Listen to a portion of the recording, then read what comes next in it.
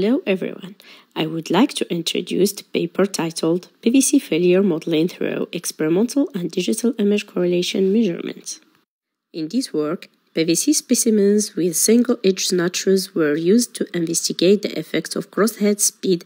Uniaxial tensile tests were performed using a tensile test machine under different crosshead speed 5, 10, and 100 mm per minute. Random patterns were painted on each sand's face with black paint to create the speckle pattern, which was differentiated from discontinuous displacement field using the digital image correlation technique. The digital images were captured using an IDS camera with an artificial source light. To determine the crack length, we used the DIC technique using the open source MATLAB software Ncorr.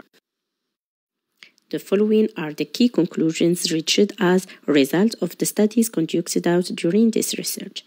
First, the strain rate affects the PVC behavior and the failure can be divided in two modes in crosshead speed effect test.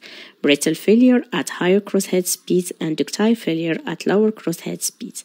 On one hand, an exponential model is proposed to explain the crack length evolution over time based on experimental results and the DIC method.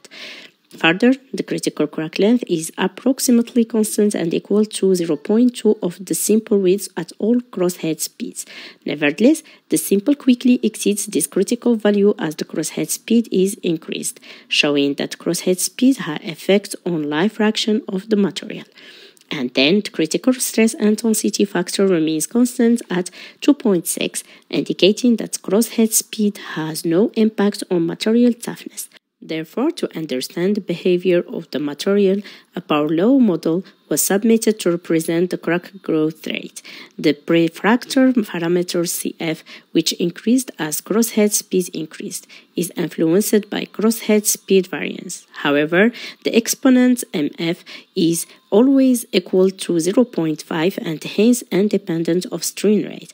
As a consequence, the material's exponents MF may be thought to be an intrinsic mass parameter and CF a coefficient that reflects the strain rate sensitivity.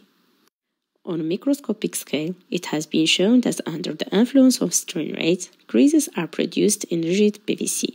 Further, at higher crosshead speed and at relatively higher stresses, crazing and crack fibrillation are more important.